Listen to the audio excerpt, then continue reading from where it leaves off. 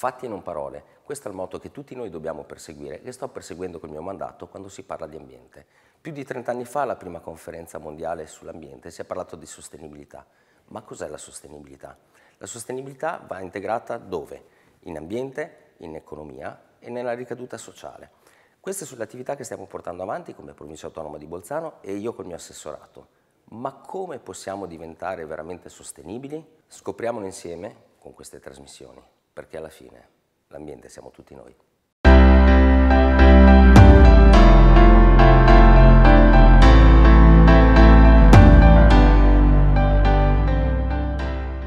Sai, non vedo l'ora di fare un bel tuffo nel lago. Sì, siamo proprio fortunati noi in Alto Adige. Quando fa così caldo, in pochi chilometri possiamo rinfrescarci in uno dei tanti laghi della provincia. Sì, e sai qual è la nostra fortuna? Che in questi laghi noi ci possiamo fare il bagno. Lo sapete che i laboratori dell'Agenzia Provinciale per l'Ambiente e la Tutela del Clima controllano la qualità dei laghi balneabili durante tutta la stagione estiva, grazie a complesse analisi microbiologiche e fisico-chimiche.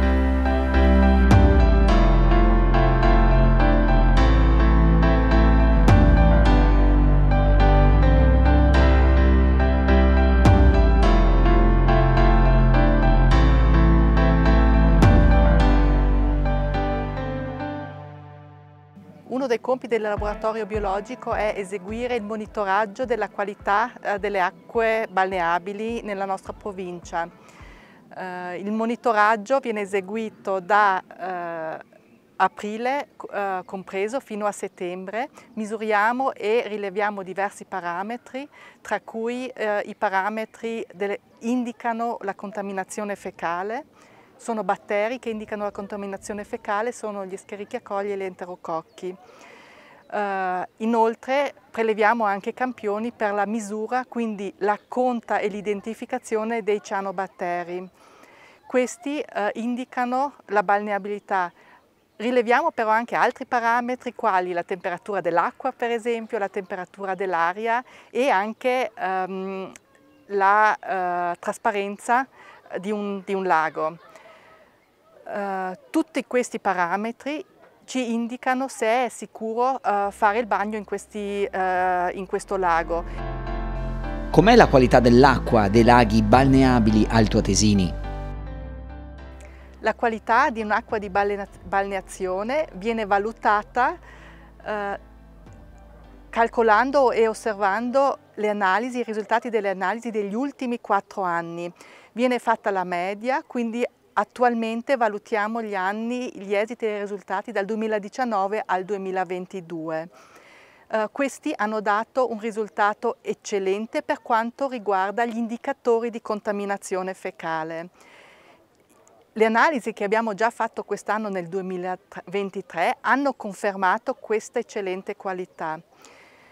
I dati attuali uh, vengono pubblicati sulle pagine ambiente della provincia di Bolzano. Il portale ambiente eh, ha anche una mappa interattiva.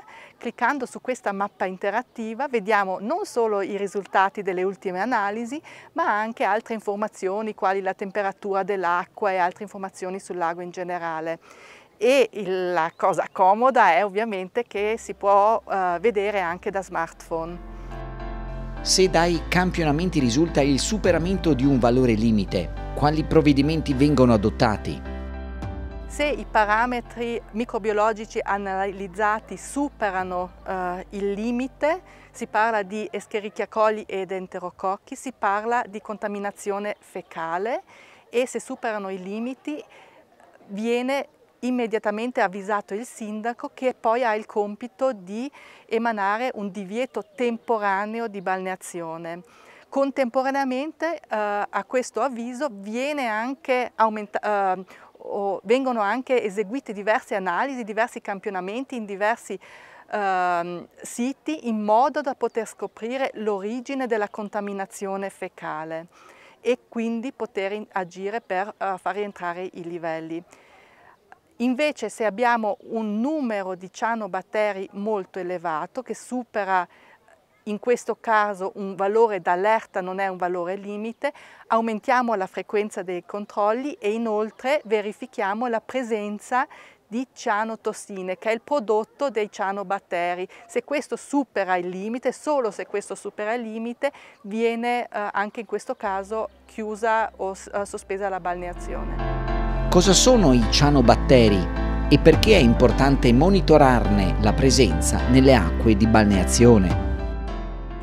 Cianobatteri sono organismi microscopici, vivono in acque dolci, anche salate, e se ci sono temperature elevate o anche concentrazioni alte di fosforo, allora possono proliferare e causare delle fioriture algali.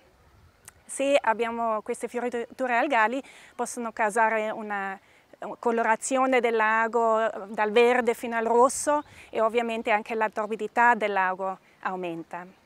Alcuni di questi cianobatteri possono produrre delle cianotossine che eh, possono causare delle ehm, irritazioni cutanee, soprattutto in soggetti molto eh, sensibili come i bambini e le concentrazioni sui, eh, dei cianobatteri sono comunque disponibili online sulle nostre pagine web. Quali misure vengono intraprese per mantenere una buona qualità ecologica dei laghi? Per mantenere lo stato ecologico buono dei nostri laghi e anche l'elevata ehm, qualità balneabile, abbiamo diverse misure di risanamento nei nostri laghi. Una di queste è per esempio lo sfalcio delle macrofitte, di queste piante acquatiche. Queste vengono asportate e quindi eh, anche vengono tolte le sostanze nutritive dall'ecosistema eh, lago. Un altro effetto positivo ovviamente è anche che non danno più fastidio ai bagnanti.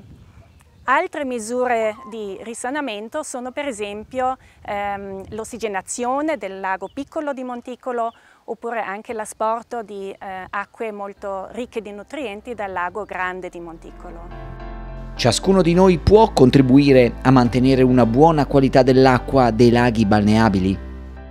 Tutti possiamo sostenere e garantire la qualità dei nostri laghi balneabili tenendo un comportamento responsabile. Un esempio è eh, la gestione delle acque reflue e delle acque piovane che non devono mai finire in un lago né direttamente né indirettamente in modo che le sostanze nutritive eh, non, va, non aumentino nel lago stesso.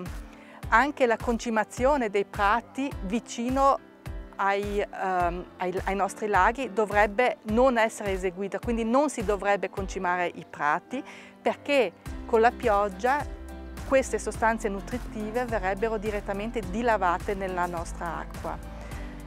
Un altro comportamento responsabile che ognuno di noi uh, può tenere è uh, rispettare le aree di tutela dove c'è un divieto di balneazione per motivi appunto di tutela dell'ambiente.